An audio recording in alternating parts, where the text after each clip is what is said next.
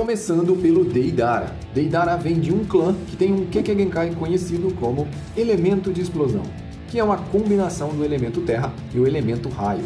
Os membros do clã do Deidara formam parte de um esquadrão especial. Essa organização tem fins militares e é da Aldeia da Rocha. De fato, na obra foram apresentados poucos personagens dessa organização. O que a gente conhece, além do Deidara, é o Gari, que na Quarta Grande Guerra Ninja combinou o seu Kekkei com o seu Taijutsu, gerando poderosos ataques explosivos. No início, Deidara também lutava como ele. Porém, como artista, ele não gostava de combinar Kekkei com Taijutsu, e com o tempo ele acabou abandonando essas técnicas. Um dia, Deidara roubou um pergaminho proibido na aldeia da rocha. Nele, ele aprendeu jutsus que são considerados pela própria aldeia como proibidos. Dentre esses jutsus estava o que ele usou para colocar as bocas em suas mãos. E também, após isso, Deidara conseguiu infundir o seu Kekkei nas suas obras de argila. Uma manipulação da matéria extremamente difícil de criar e controlar, e ele usa elas para que elas se detonem remotamente. Ao roubar os jutsus proibidos, Deidara fugiu da sua aldeia, rompendo completamente as ligações com ela. Deidara vagou pelo mundo. Entre as suas viagens, algumas pessoas compraram as suas explosões. E Deidara, com muita satisfação, vendia suas explosões em forma de arte. Deidara estava vivendo feliz e concretizando seu sonho, já que ele acreditava que a arte era algo momentâneo, assim como uma explosão. Porém, a paz de Deidara acabou quando ele foi humilhado por Itachi Uchiha. O poder do seu Sharingan acabou com a paz de Deidara, acabou até mesmo com um pouco da sua autoconfiança de ser invencível. E nesse momento, Deidara se viu forçado a participar da Akatsuki e fez várias missões ao lado de Sasori. Várias dessas missões foram focadas em acabar com Orochimaru. Afinal de contas, Orochimaru havia abandonado Akatsuki e Deidara entrou no seu lugar. Por esse motivo, também Deidara odiava Orochimaru, porque se não fosse por ele ter saído da Akatsuki, ele nunca teria entrado. Um pouco mais adiante, descobrimos que Deidara derrotou Gara, usando uma armadilha para enganá-lo. Logo em seguida, ele teve que enfrentar Kakashi e Naruto ao mesmo tempo, uma batalha que ele perdeu. Depois ele teve o seu confronto final contra Sasuke. Deidara disse uma vez para Sasuke que ele e o seu irmão Itachi, os dois eram fortes porque eles eram abençoados. Porém, Deidara também foi abençoado, afinal, ele tinha um Kekkei extremamente raro e muito poderoso. E o Kekkei em si é algo que não dá para se aprender, você nasce com ele. Logo a seguir, temos o companheiro de Deidara, Sasori, conhecido como Sasori da Areia Vermelha. Quando Sasori era apenas uma criança, ele ficou órfão de pai e mãe e teve que ser criado pela sua avó.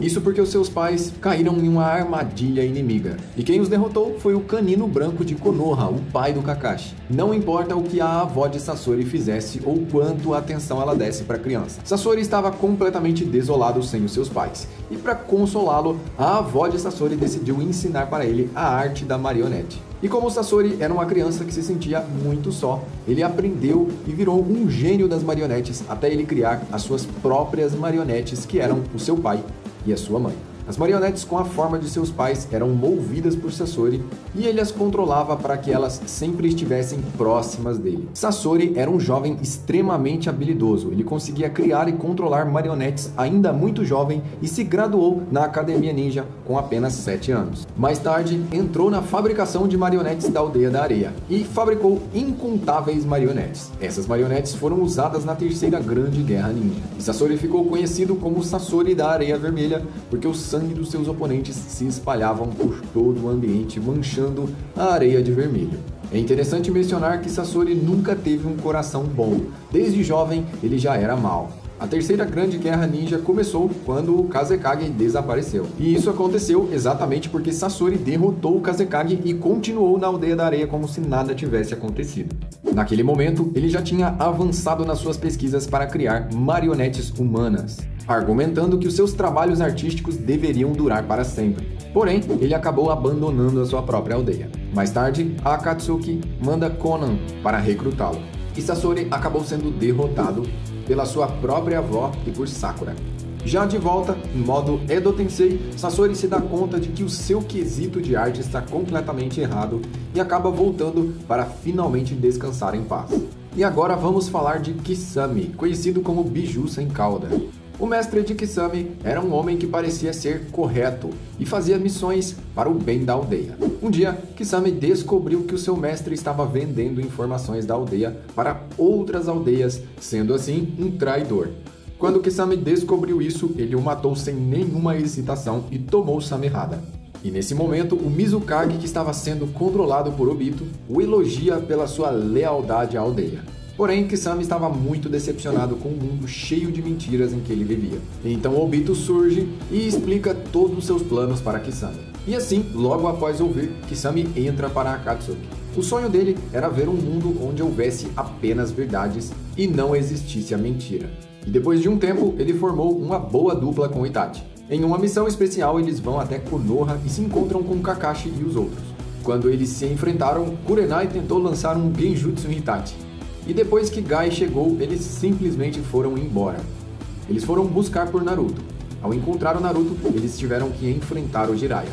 E ao cair na armadilha de Jiraiya dentro do estômago do sapo, eles escaparam com a Amaterasu de Itachi. Entre os maiores feitos de Kisame está derrotar o Jinchuriki do Biju de quatro caudas. Kisame é realmente muito poderoso e tem habilidades realmente interessantes tanto de combate quanto de infiltração. Itachi é um prodígio desde criança. Ele entrou na academia com apenas 6 anos e se formou aos 7. Os professores, maravilhados, não sabiam mais o que fazer com Itachi, pois ele tinha habilidades completamente extraordinárias. E aos 8 anos, ele despertou o Sharingan quando Obito atacou a sua equipe. Aos 10 anos, ele se tornou Junin. E por ser um Uchiha, a aldeia da Folha colocou muitas travas para que o desenvolvimento dele fosse freado. Aos 11 anos, ele entra na Ambu, e aos 12 anos ele se torna líder de esquadrão na Ambu. Nesse mesmo ano, acontece a aniquilação completa do clã Uchiha. Em seguida, ele se torna um ninja renegado e acaba se unindo a Katsuki. E à distância, ele continua cuidando e protegendo a sua aldeia. O sonho de Itachi era ser Hokage e criar um mundo ninja sem guerras. Mas o que ele acabou fazendo foi perder a vida para o seu irmão mais novo, que só buscava vingança por tudo que ele fez. Após finalmente entender os sentimentos do seu irmão, já era tarde demais. Itachi depois voltou na sua forma de Edo Tensei para resolver os maiores problemas da Quarta Grande Guerra Ninja. E se você está curtindo o vídeo, se inscreva para receber muito mais conteúdo. Se você já é inscrito, deixa aí o like. Kakuzo era um ninja de elite. Completamente obcecado por dinheiro, ele cresceu em uma família extremamente pobre. Em um determinado momento da sua vida, designaram para ele uma missão. Sua missão era nada mais, nada menos do que acabar com Hashirama, o primeiro Hokage de Konoha, um dos ninjas mais poderosos de toda a história do mundo. Obviamente, ele falhou em sua missão. E ao retornar completamente derrotado para sua aldeia, ele recebeu severas punições e ele foi preso, apesar de ter ido em uma missão impossível e arriscada à sua vida. Depois de algum tempo, ele conseguiu escapar da prisão e se vingar dos líderes da sua aldeia. E ele também roubou os jutsus proibidos da sua aldeia antes de deixá-la. Com esses jutsus proibidos, ele transformou o seu corpo em algo completamente bizarro. Um corpo que poderia armazenar até cinco corações e ele trabalhou por muito tempo no mercado negro caçando ninjas fugitivos. Logo, ele foi encontrado e recrutado por Pen para Katsuki. Depois de muitas batalhas, ele acaba sendo eliminado. E o seu parceiro era Hidan, por isso vamos falar dele agora.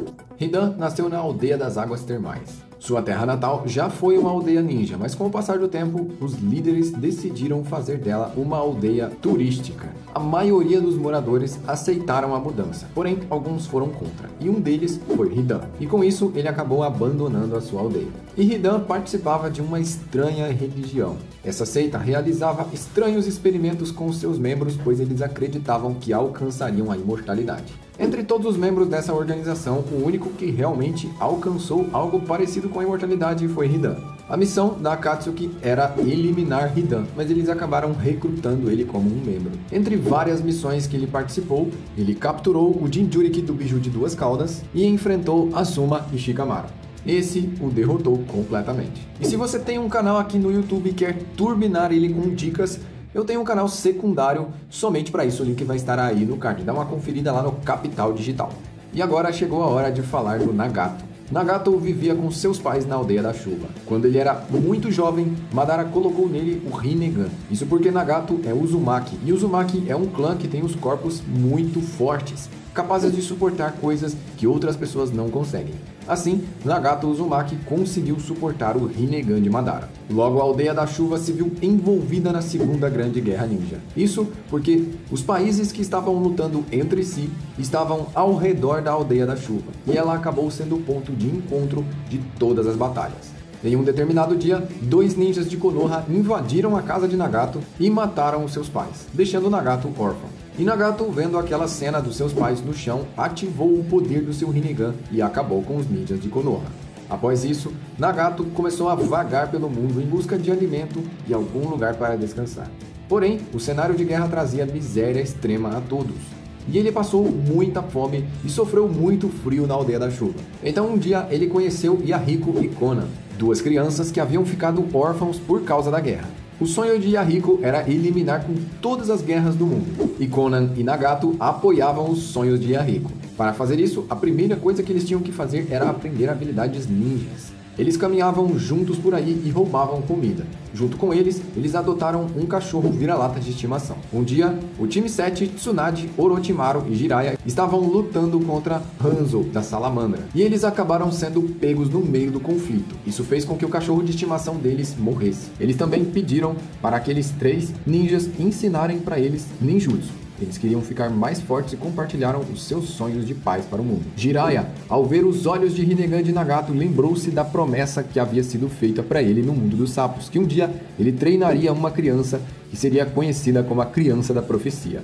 Ao ver uma criança com olhos de Rinnegan o pedindo para o treinar, ele não recusou, pois ele acreditava de todo o coração que aquela era a criança da profecia. E assim, os três aprenderam ninjutsu. Depois de três longos anos de treinamento, Jiraiya os deixou para trás, dizendo que eles já tinham aprendido tudo que era necessário para se defender. Mais tarde, os três criaram uma organização para atingir a paz mundial. Essa organização se chamava Akatsuki.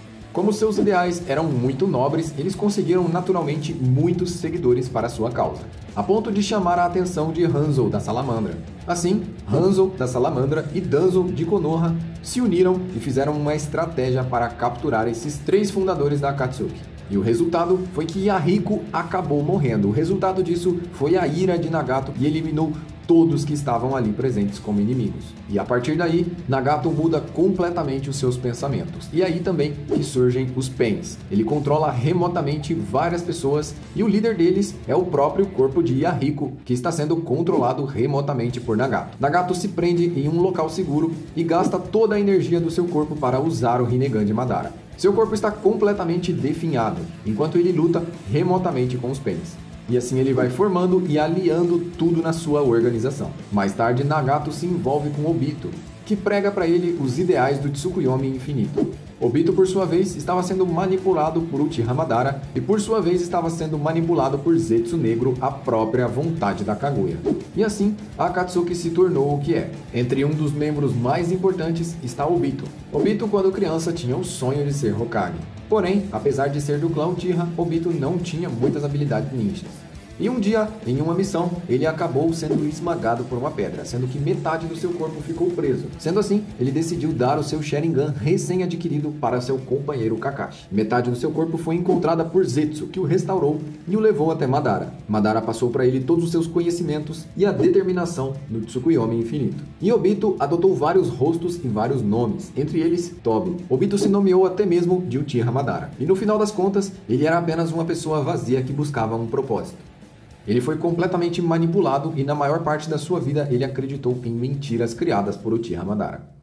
Nessa lista a gente viu os personagens mais complicados da Akatsuki, talvez os mais antissociais, os mais difíceis de lidar. Comenta aí embaixo qual dessa lista que é o seu personagem favorito. Eu sou o Joel, eu vou ficando por aqui, compartilhe esse vídeo e até a próxima.